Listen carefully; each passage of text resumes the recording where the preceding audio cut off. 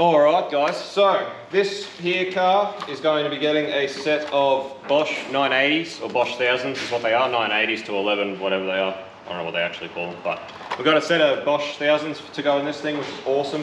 Uh, those were supplied by the owner. Uh, the owner also supplied a new Turbosmart uh, fuel pressure reg, which is great. And we're also fitting a new set of Crow valve springs for this thing. And I haven't opened this box yet. Give me five. So we're also fitting these uh, big boy race valve springs from Crow. Now these are pretty much, from what we can tell, pretty much good for as much boost pressure as you can throw at a street built barra.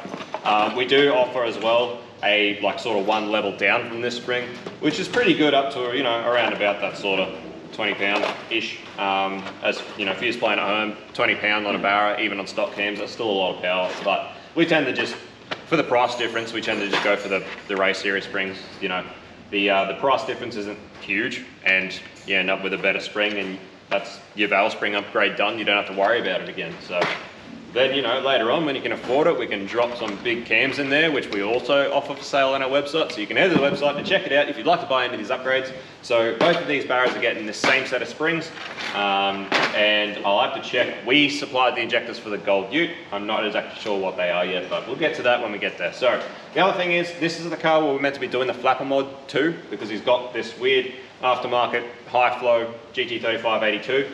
Uh, however, I just sent him a message because once we got that overboosting issue sorted on the dyno, it was maintaining that 10, 11 pound fine. It's not boost spiking. So I'm not sure that the, uh, you know, the, the, flapper mod will actually be necessary uh, to run our sort of 14, 15 PSI that we were running run. So I've just sent him a message, asked him if he'd like us to just go ahead and do it anyway, or whether he'd rather us just see how it goes and make the call. If it needs it, then we can, we can do it later. But anyway, for now, regardless, we're going springs and injectors, a new fuel pressure rig. So let's get it done.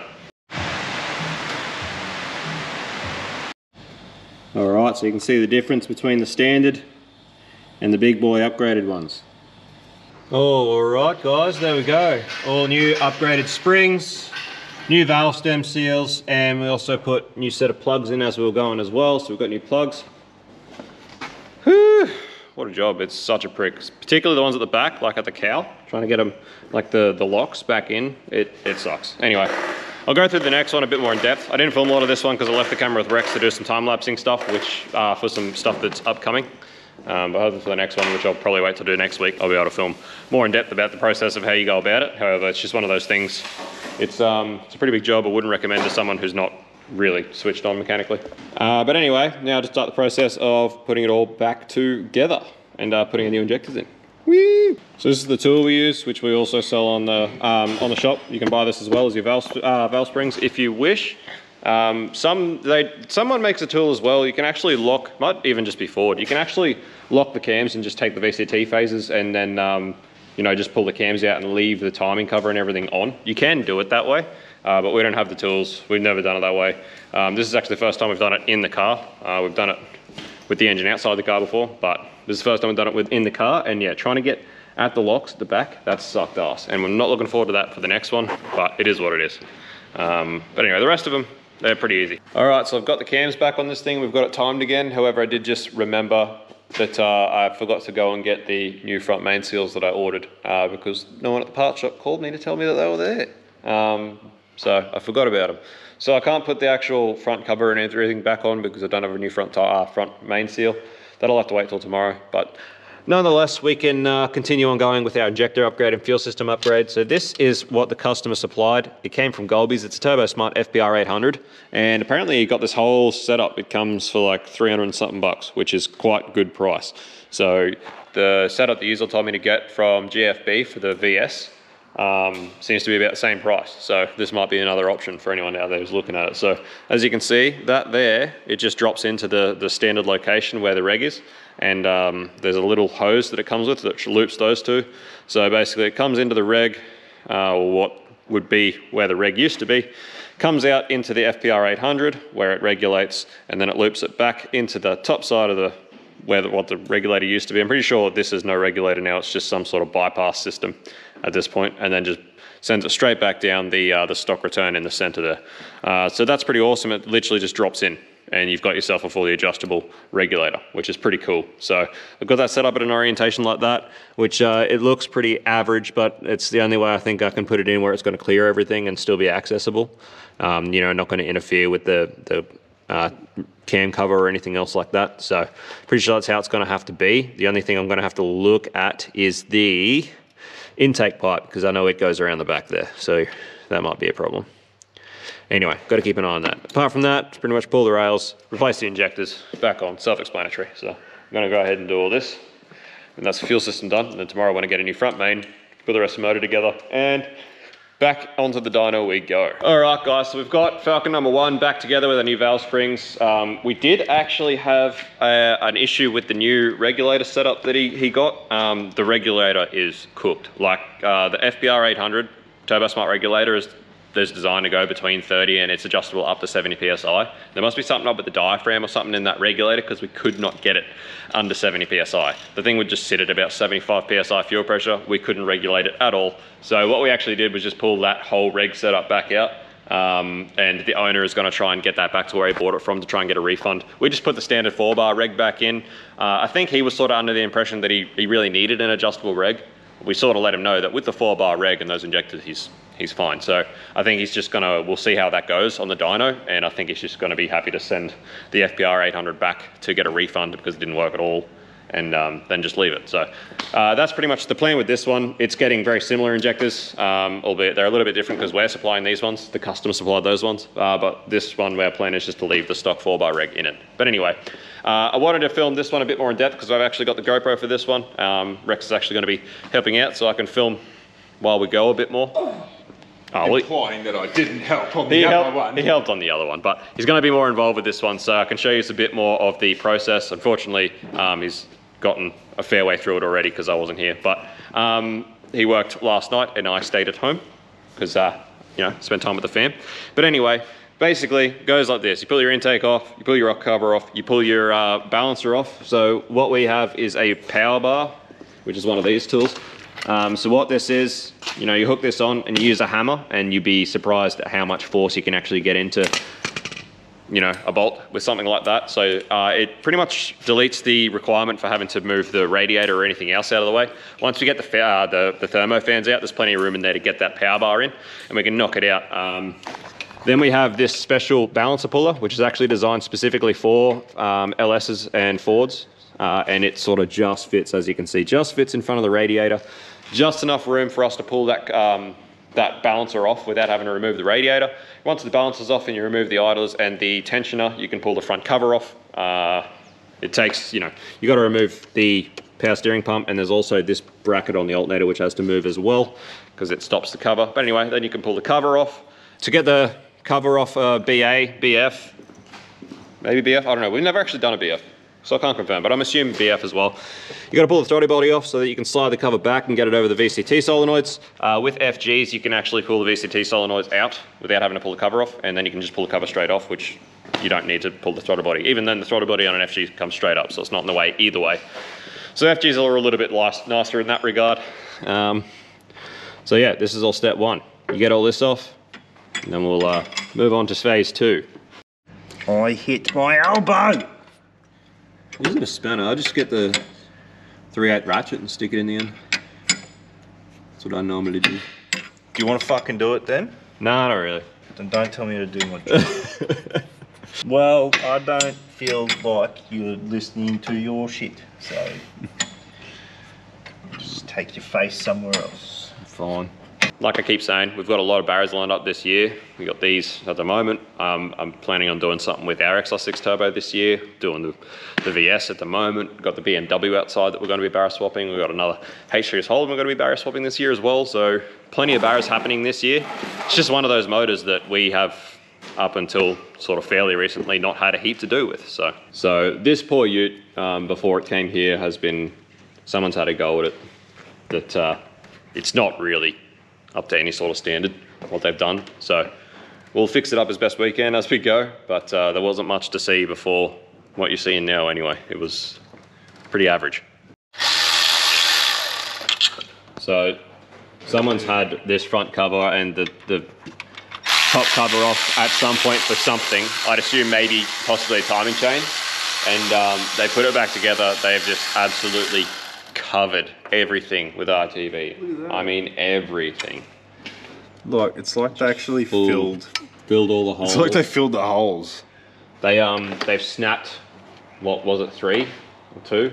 Ah, two. Two two of the uh, the actual bolts for the top cover have been snapped. So while we've got the cam caps off, we're gonna try and get them out uh, for the owner. Just try and basically clean up whatever someone's done to it, and um, obviously try and put it back together with some sort of pride and some sort of standard. Yeah, there's missing bolts in the sump and the timing cover. This shit. Like we're gonna have to clean up all these on the wire wheel because they're just covered in RTV. So I don't know yet till we get the cover. Look at that. I don't know yet till we get the cover off whether That's disgusting. whether those bolts are missing or if they've been, Been snapped, snapped, off. yep. So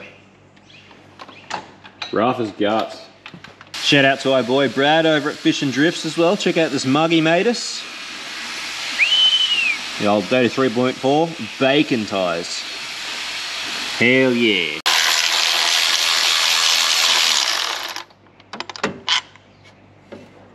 wasn't that one full of silicon?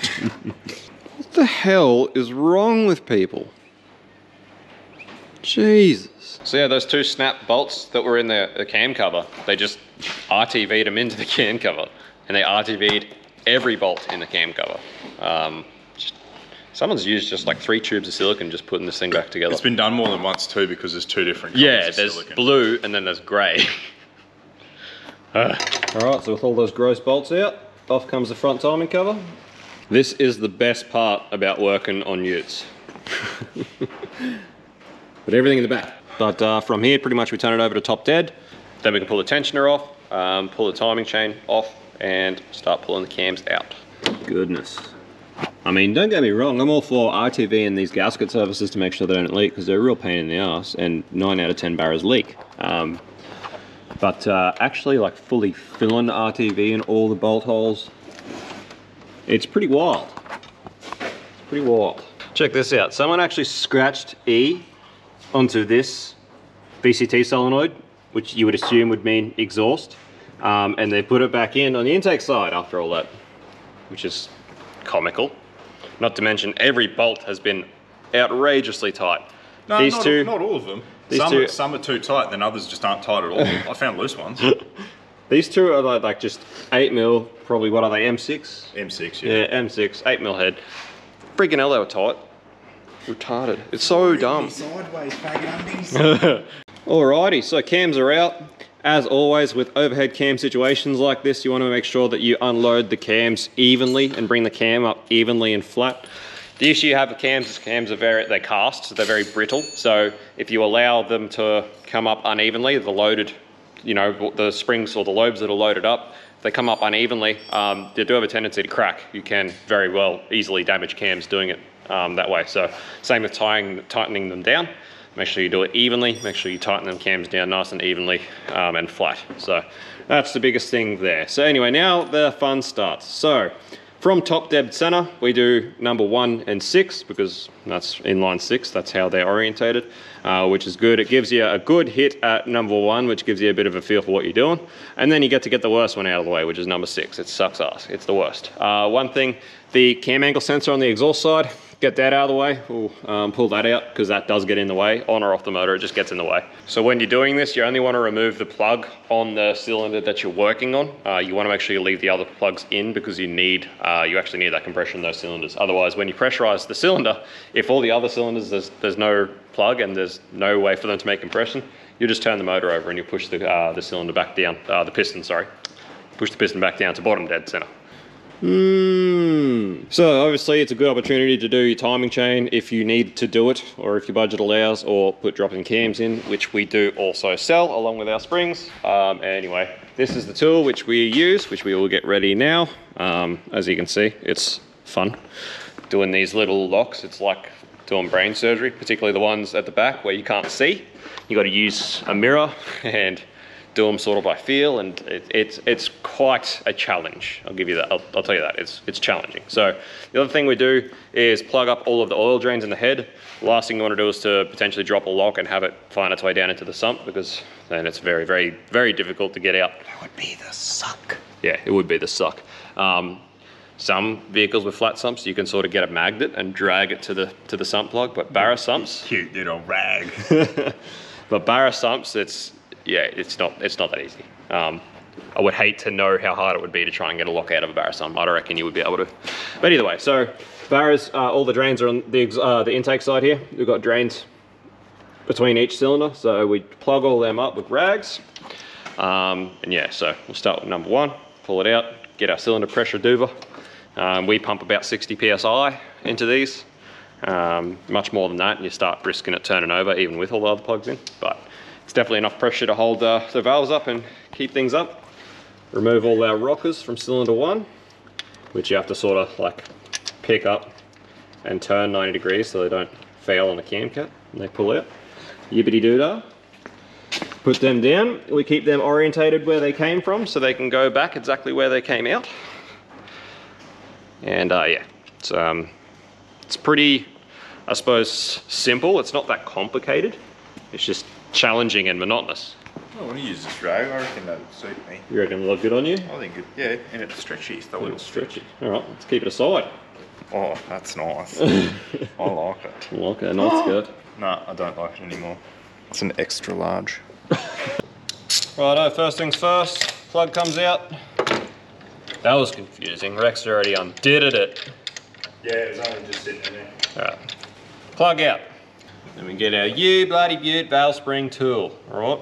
So valve spring tool, it goes on, it bolts down to the cam cap bolts. So it sits there like so. Now the factory torque spec for cam cap bolts is 10 newton meters, so you really don't want to be doing these too tight. Only just nip them up. On these bolts that actually uh, compress the springs, we use plenty of anti-seize. Anti-seize them sort of every job.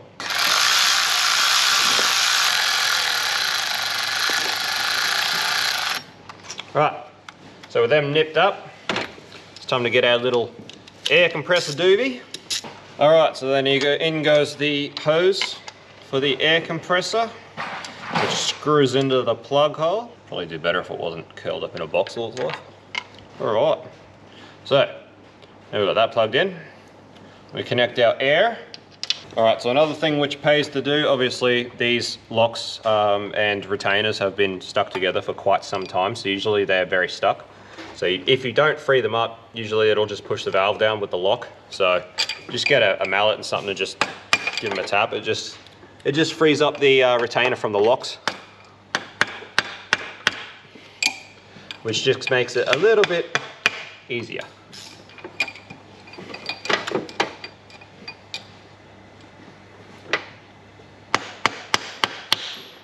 So now the second part of the tool are these little Lego helmet looking things. And they actually just perfectly sit on the retainer. They usually actually bring the retainers back with them when you pull them off. So from there, just tighten down. It pushes the retainer down to free up the lock.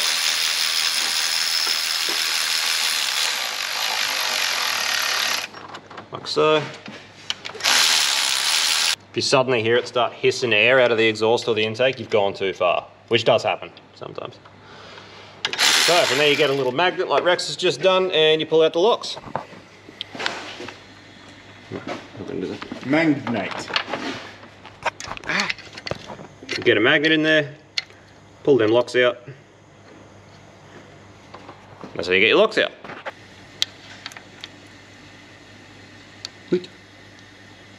Out they come. Now with all the locks out, you then let the pressure off these bolts, let the springs come up.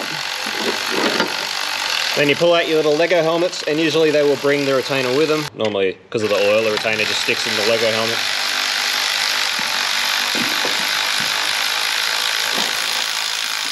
So with all of them removed, get our 10 mil, and we remove the tool again. You don't remove the air, leave the air hooked up at this point.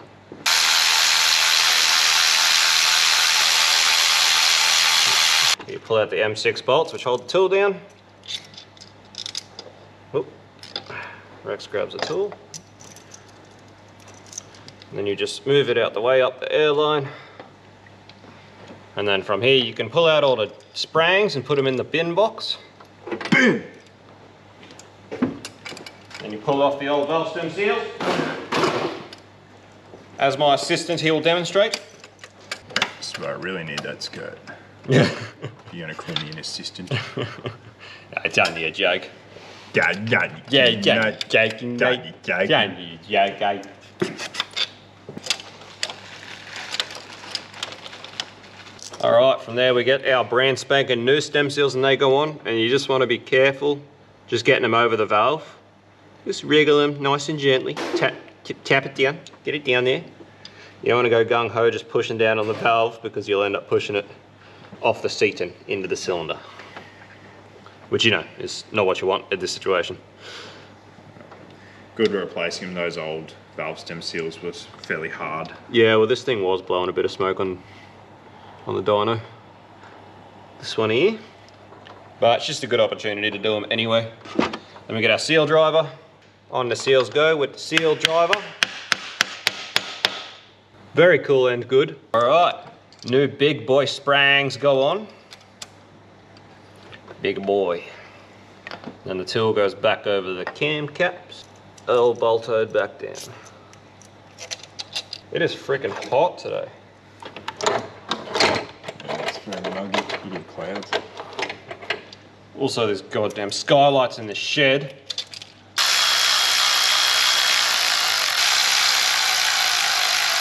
Almond, Rumbly rumbles. rumble grumble.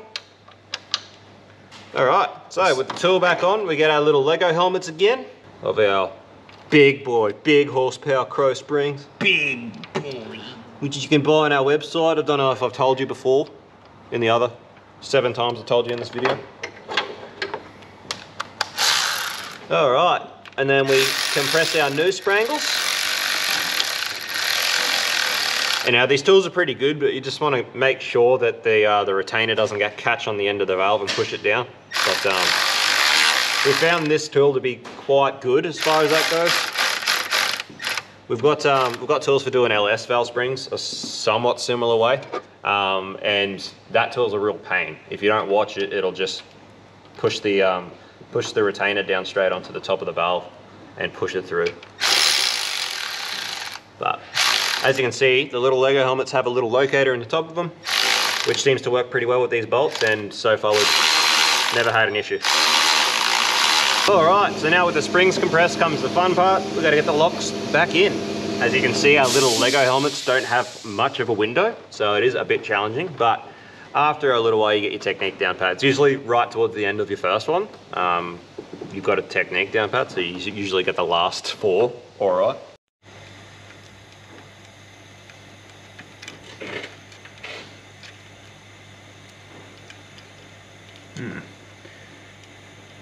ITO. Rightio. Yep. So, once you got your locks in place, back up she comes. And your little Lego helmet comes off. You've got one, one spring installed. One done. 23 to go. Yay! So we'll finish these four, and um, then we move to number six because it's also up at top dead center because one is. Uh, it's not obviously imperative that you have the cylinder you're working on at top dead center. The the system, the setup, the way we're doing it still works either way. Uh, the only thing is if you do happen to, to do something wrong and you do drop a valve, if your piston's up at top dead center, the chances are you may be able to recover the valve and pull it back up. Uh, whereas if you've got a piston that's all the way down the bottom of the bore and you accidentally happen to drop a valve or something, um, good luck with that. that. is all I can say. Another one done. Bit of lane surgery. I think that one's got to go down a bit as well. bit more. So it's really a matter of just practice. You sort of, after a few of them, you start to figure out how, how low you really need to have the retainer for the locks to actually go in properly and, and stuff like that. You start to get a feel for it. Right. Yeah, that's it.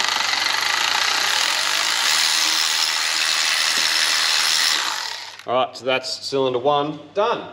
So now you can disconnect your air. Just leave the hose in the hole. disconnect your air. Yeah, like Rex is saying, leave the hose in the hole. I have a habit of always leaving something in the plug hole, just because there's nothing worse than dropping something and it finding its way down a freaking plug hole.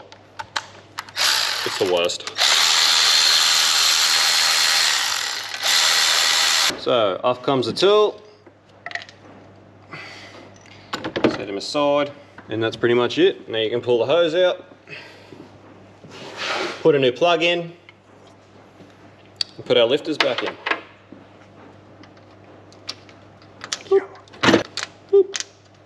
Lifters back. So that's one cylinder done. So that's the easy one. Now we move straight to the hardest one, which as you can imagine, trying to get those locks in in the back of the back cylinder where you're against a firewall and you can't see and you can't really get anything in there, it sucks. All right, so we're about to start the seriously fun bit. This is where you got to get serious about fun.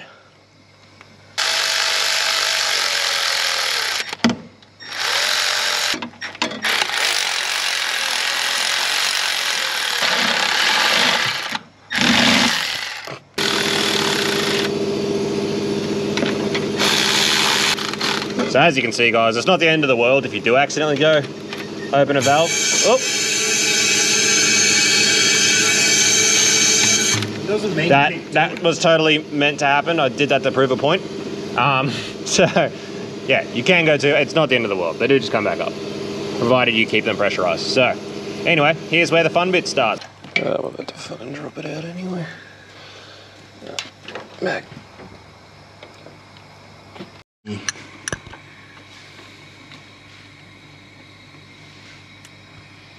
Well over an hour later, we've got the back cylinder done, number six. So it's just car. There's, there's nothing you can really do. You just got to keep at it. It's very, very fiddly and tiny, and that's, like I said, how I'd imagine brain surgery would be.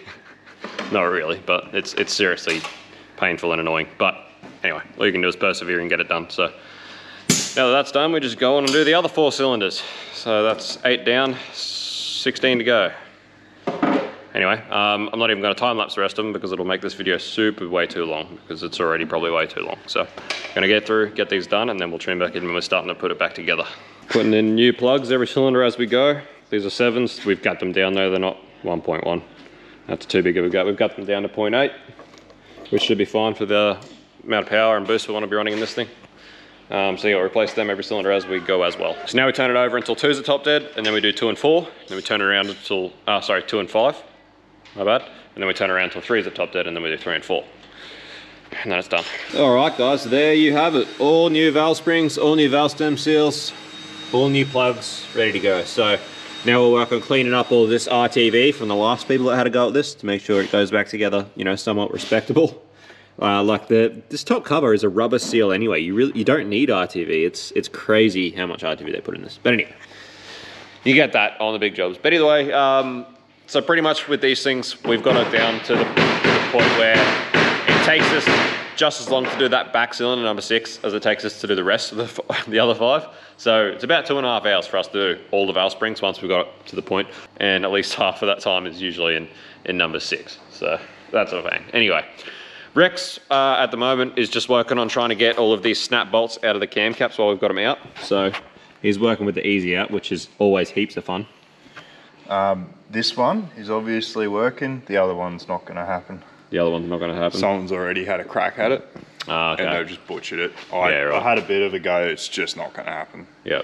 But Oh. that one at least came out, so we've So we fixed got one. So we're still going to have one snap bolt, which um, unfortunately is unavoidable for us now, but it's getting late anyway, so that's good. Now it's uh, almost time to start work on putting it back together tomorrow. So it'll be that one there, which is a middle one. So not Not a huge deal. not the worst thing. Yeah. Yep. Yeah. Yeah. Well, it'll be okay. Well, still better than having two snap ones, so. Yeah, so anyway, we'll work on cleaning up all the gasket surfaces in the morning, film it anyway. And uh, the only other thing we do at this point is um, new front main. New front main seal all the ways when we do this. Uh, and yeah, like I said, if it's a good time to do timing set if the budget allows and if you require it, but. All right, so we've got cams back in, that same thing, making sure to tie them down evenly. Um, the sequence is to start on the outside and work your way in on the front and then do the same on the back. That's the sequence that uh, is in the manual, but uh, just making sure they come down nice and evenly. The torque specs for these are 10 newton meters, and then we move on to timing. So the timing chain has four colored links, two orange links or yellowish orange that uh, line up with the top of your cams here on these dots. They also have another yellow or sort of orange yellow that lines up with the dot or a marker on the bottom of the um, crank trigger wheel. Uh, and then there's a, like a darker, a darker link which lines up with one of these on the crank trigger wheel as well. Now, when you're doing it in this situation, it's important to get a camera down there and actually make sure you have that lined up because parallax can be uh, a problem when you're looking from up here and you can't actually see from the right angle in front. So that's an important thing. But it's pretty simple, they're pretty easy to time. It's pretty hard to mess them up if, as long as you line up the, the right marks. A photo! The yellow links perfectly at the bottom and those two are on Yeah. the dots, so it's got to be right. Now we go to tensioner. So there's a little trick with the Barras is to actually have a little bit of pre-tension on the tensioner because uh, otherwise they rattle and they sound like crap. The problem with the tensioners is that the actual shaft needs to come out so far for it to actually lock into the next um, ratchet, like the next slot. Where the hell is the tensioner? Oh, I was an idiot. So this actually has to come out so far for it to actually lock into the like the next slot. So the trick is to actually put some pre-tension on it and let it out before you bolt it up.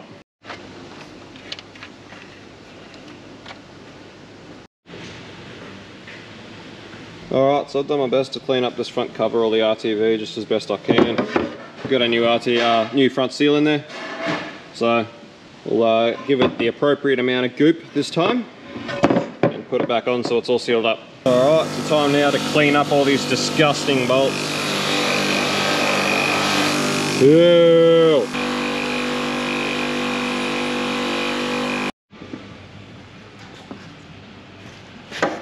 Alright, so with the front cover pretty much all back on, um, now we're going to move on to doing the injectors. So we supplied injectors for this one. We've chosen to go with some Xspurt 1000cc injectors. So it'll be a very similar setup to the other car.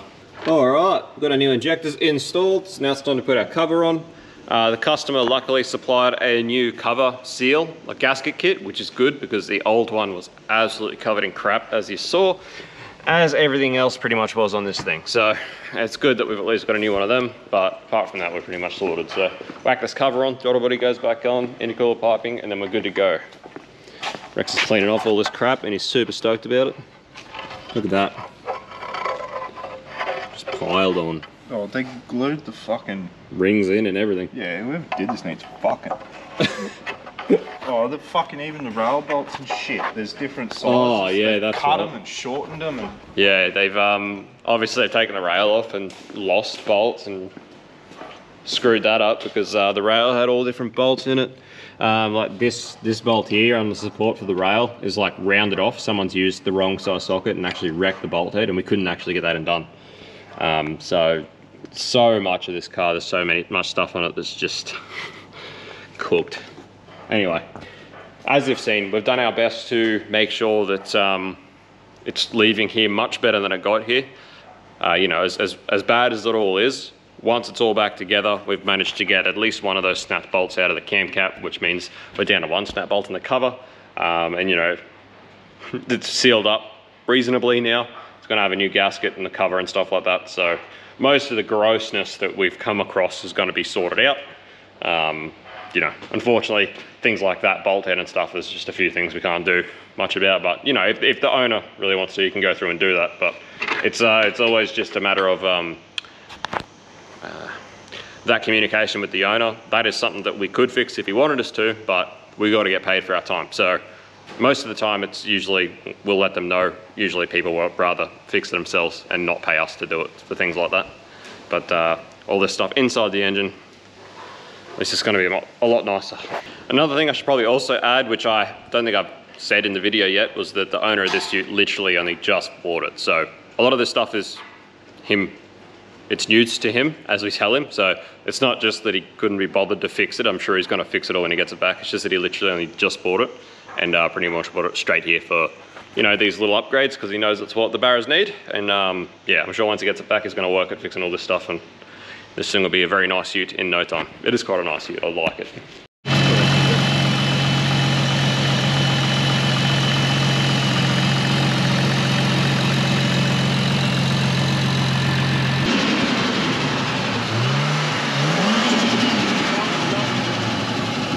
All right, so there you go, guys. The ute's back together and running.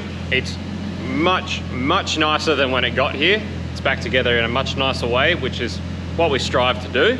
Obviously, we always do what we can within reason and uh, within budget and cost and customer requests. So uh, it's much nicer now than it was when it got here. So it's ready to hit the dyno now, which will be this week. So we'll tune back in when we're ready to hit the dyno with them both. See what sort of results we can get.